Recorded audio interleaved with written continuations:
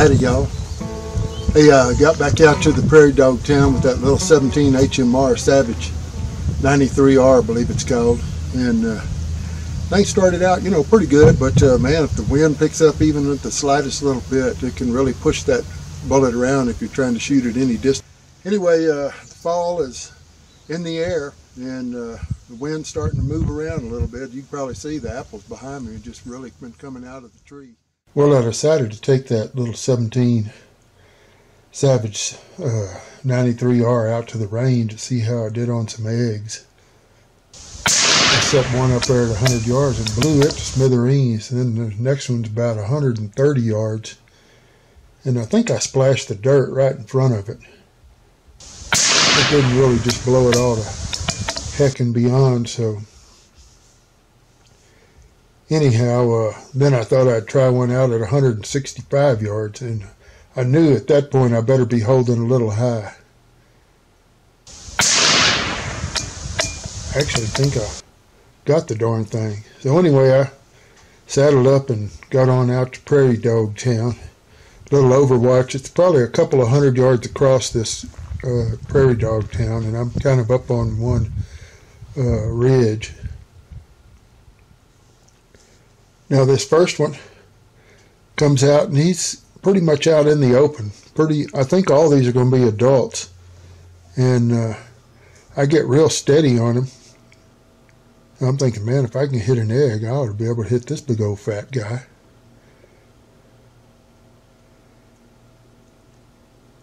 I get get in on him. He's probably about oh 145 yards, I would say. Sure enough, it waxed him pretty good. Wasn't too much longer, and a young fawn came out. I guess it's a fawn or a yearling. It's already late in the year, so it's lost its spots. But uh, I don't know if it saw me or just thought maybe I was a bush or whatever and didn't really care much about it. So it just kind of moseyed on, on off. Now this next prairie dog is uh, it's pretty close to 165 yards. But you know I hit that egg. I probably should have held up high on it. But I'm holding right on it. And man, I don't know if I hit low there or what. I think maybe I hit a little bit low and a little bit left. But uh, it stayed up there and it was trying to give me another shot. And if I'd really steadied up and got on it, I think I might have been able to hit it. I don't know, but uh, seems like before I could get on it, it ends up going back down its hole. So I missed the opportunity on that one. Now this one's right by the road, so I'm going to try it before it gets on road. Man, and I, I think I hit, I don't know, a little high. It looked like.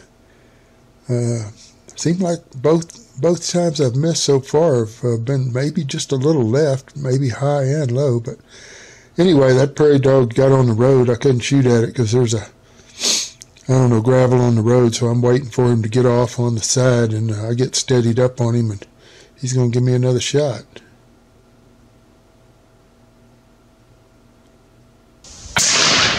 Man, that one hit just to the left of him. And I guess he's probably out at, I don't know, maybe 150 yards, something like that. And before I can get on him again, he gets down a hole over there on the other side of the road.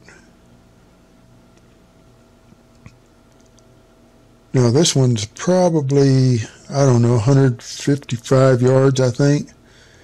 So I'm really trying to get steady because he's a long, tall, skinny guy in the grass. So I'm really trying to do my best to get, you know, really zeroed in on him. I, somehow I'm thinking if I zoom in too much, maybe that's what's making me miss. So I zoom in and then I zoom back a little bit, but uh, I get the crosshairs right on his shoulder. Steady as a rock. Sure enough, it drops him right over. This one here is, uh, man, he's giving me a perfect shot. I'm thinking, man, I can't miss this, can I? This is about 160 yards away.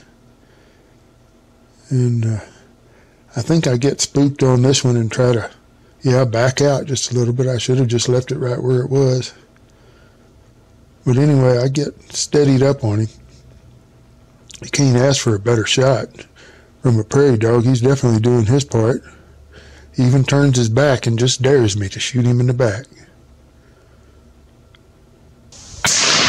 Man, be darned if I didn't miss a little high and a little left. but he doesn't doesn't totally disappear. He kind of runs down his hole, and then I guess curiosity kills the cat. So it, he kind of sticks his head back up, and he's looking around like, "Man, what was that?"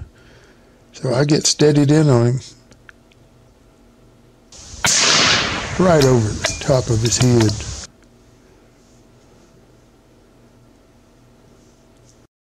Now this one here is, he's really kind of got some brush, an old uh, cedar tree that's kind of just right on the edge of it. So there I am backing out off the zoom again, thinking, oh, oh, oh man, maybe that's what's making me miss. I don't know, but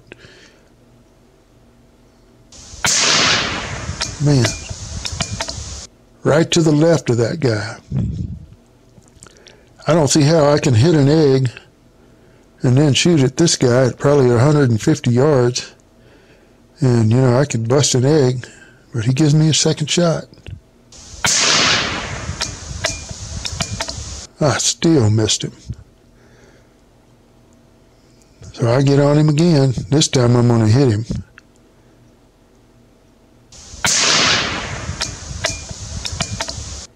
But it doesn't totally blow him away. He falls down the hole, and I go look for him. He's gone.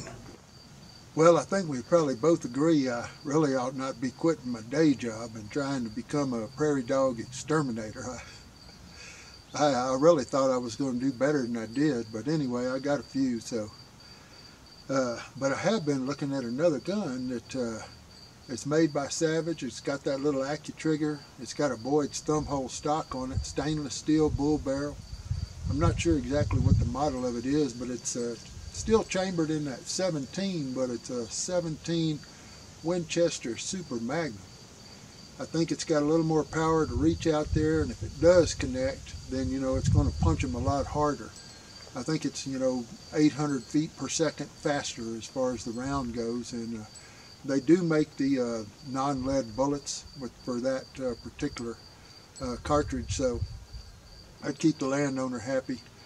And uh, anyway, I'm going to go take a look at it. Uh, I, th I, think the rifle I have and the scope I have is capable of, you know, reaching out there and doing it. But uh, like I saw on that last dog, you know, it hit him, uh, but he still fell over and went down a hole. When I went up and looked down the hole, I couldn't find him, so he must have drug himself down in there or something. So I'd really like to find something that's got a little punch to it.